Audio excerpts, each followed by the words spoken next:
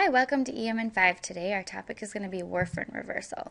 There are many, many different causes of over anticoagulation, especially when the patient is on warfarin. Lots of different drug interactions, which I'll go over in a second uh, notably Tylenol. That's a big one to remember. Very, very common.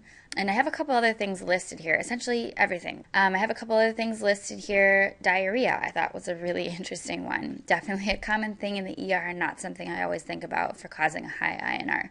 So make sure and check your patients if they have diarrhea and are on warfarin. Other things, uh, worsening malignancy, heart failure, liver dysfunction. Also think about diet if they look very wasted or cachectic. Uh, make sure and have a higher threshold for checking the INR.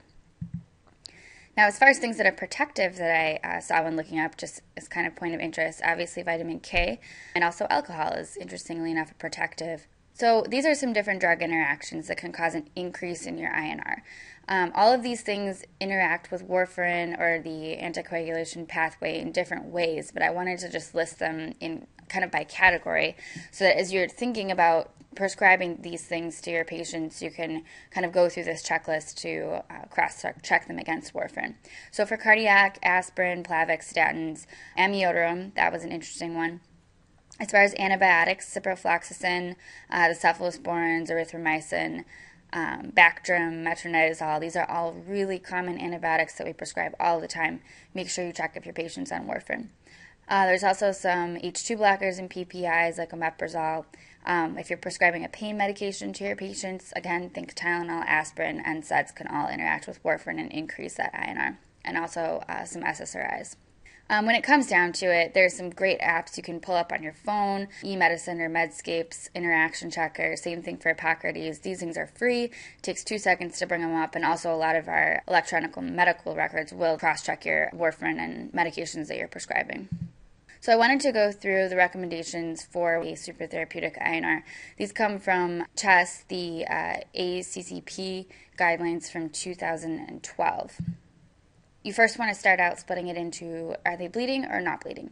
If they're not bleeding, check an INR. The new recommendation, which is different from the 2008 um, American College of Chest Physician recommendations, the cutoff is for 10, INR of 10. Uh, the old ones split it into a couple different ones. I think cutoff was 9. So, just as a note, now we're looking at 10. If you're less than 10, essentially all you have to do is skip or hold a dose, start rechecking your INRs, and restart it again when you're therapeutic. If your patient has an INR greater than 10, you give them 2.5 milligrams of PO vitamin K, and then same as the prior, um, start holding or skipping a dose until they're therapeutic again.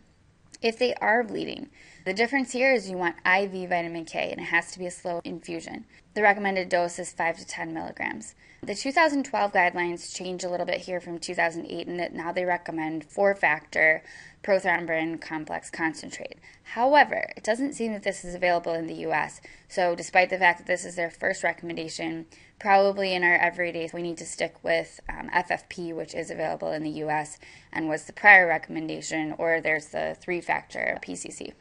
So, three things to remember from this talk. There are lots of great apps out there. Make sure and check for your interactions and always think about Tylenol and diarrhea. Those are things that I don't always think about for increased INRs. If you have an INR greater than 10, give PO vitamin K. If it's bleeding, IV vitamin K plus one of the products. And thanks again for joining us on EM in 5.